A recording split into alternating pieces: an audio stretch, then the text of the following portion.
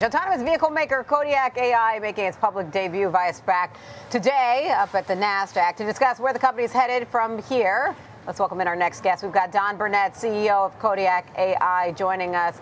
Uh, Don, thank you so much for joining us today. Listen, the appetite seems to be rich right now for companies coming to public markets. We've seen increasing activity this year, whether it's through uh, traditional IPO, SPAC, DSPAC, et cetera. So uh, before we get into one, congratulations on this uh, uh milestone moment today. Um, but uh, let's take it back a little bit and educate our viewers at home, we have a lot of retail investors, on just what your company does. It's autonomous vehicle technology. Tell us a little bit how you would characterize it. Well, thank you very much. It's great to be here. Uh, Kodiak is an AI powered autonomy company uh, powering the future of transportation, starting specifically with uh, long haul and big rig semi trucks. We're addressing a massive market opportunity that's been challenged for decades with lack of lack of driver supply, uh, increasing costs, increasing safety incidents. And so, you know, we feel that autonomous technology is is here today and, and ready to tackle this massive market. We've now deployed driverless vehicles out on the road. They're in the hands of the customers. Those customers own and operate those trucks uh, themselves. And so this is a really exciting time for us to be entering the market. It feels like a very futuristic time, but it seems like the future is now when we think about this. Because listen, I had a dream that I was in a vehicle, there was no one in the driver's seat, and it was fine. But when I wake up to reality, that scares me. So it, it, the the idea here with your business is we're going to see those big rigs on the road without anyone in the driver's seat. Yeah, am I understanding that right? That's right. But the thing you should realize is that these trucks never get drowsy. They never get drunk. They're always paying attention. They never miss a beat. They mind their own business, driving the speed limit in the right hand lane. They don't cut you off. And so they really are the ideal truck to see on the road. And we think as more people experience the technology, driving past it, uh, more people will come around to the idea that these are actually a lot safer on the roadways than the current situation. Okay, they don't cut you off. I like that one. Um, but okay, so I talked about this as if this is very futuristic, but obviously a lot of this is, or some of this is happening now. You all have already logged millions of miles. So tell us a little bit about your experience today, um, especially for investors who are evaluating your company and trying to decide, am I going to invest?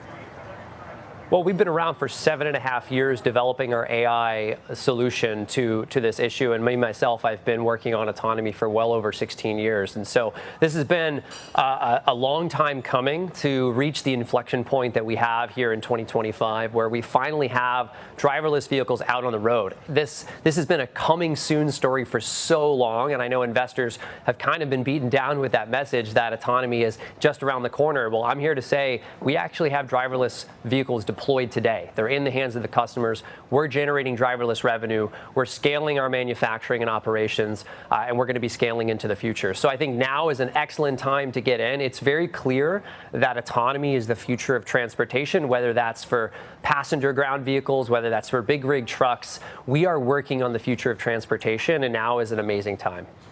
Don, let me ask you a little bit more about safety. Uh, you talked about, you know, say you're going to have, you're not going to have the same incidents where you have a driver falling asleep at the wheel. But what about, you know, just kind of malfunctions and technological malfunctions that you have to think about? How does the safety of, you know, the way you all operate compare to, you know, human drivers? Safety is the guiding principle for everything we do and everything we've developed at Kodiak. And so at every level of the system, we have lots of redundancy and backup systems that will kick in if you have any kind of malfunction, whether that is from your sensors. So we have lots of cameras and LiDAR and radar in the vehicle that can double check themselves. We have multiple computers. So if one has an issue, the other one can step in. And then we have redundant actuation, meaning the steering, braking, and throttle uh, and power systems in the vehicle are all fully redundant. So so if any one of the systems uh, were to fail, we have backups that can step in and safely pull the truck over to the side of the road. And we also have 24 7 monitoring of these vehicles. So we can remotely monitor the health and diagnose any issues that happen and then step in to help guide the vehicle if it encounters any problems on the road. Okay, and let me ask you this, and if I understand this right, um, you all use a driver as a service model, so I feel like we're about to use a new acronym, DAS, like, you know, kind of like DaaS. software as a service, right? So when you think about that model, uh, how does that, you know, why was that approach versus just, say, selling trucks?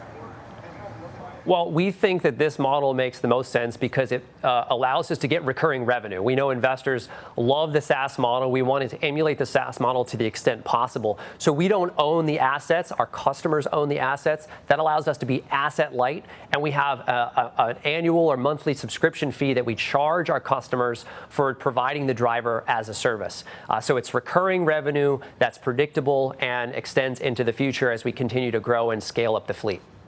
Okay, so let's talk a little bit about your customers. I'm seeing that you all had Atlas Energy place this uh, order for 100 trucks. They already run your trucks 24/7 there. What have you learned from customers like Atlas and beyond in terms of how execution is occurring? So, to deliver an autonomous product, you really need three big components. I call them the three pillars of autonomy. The first one is the technology, and that's where everybody tends to focus. The second one is really on proving safety, and that's something that Kodiak has done. Uh, But the third one is actually delivering a product that works for your customers. And the only way to actually make improvements there is to get the product into the hands of the customers day in and day out, testing it rigorously. So we've been working hand in hand with Atlas over the last six to nine months, actually nine, excuse me, more than nine months, and uh, we've been working on operational efficiency, usability, pain points for the customer, and really ironing out all those details. And that put Kodiak several steps ahead of a lot of companies that are still really focused on the, the technology component of the system. Okay, and Don, let me ask you this. Um, obviously, you know, you could have uh, done things differently and just uh, stayed operating your company the way you were operating. You chose to do a DSPAC. Now, with the funds that you'll receive from coming to public markets, how do you plan to deploy that capital, especially when you think about scaling the company even more?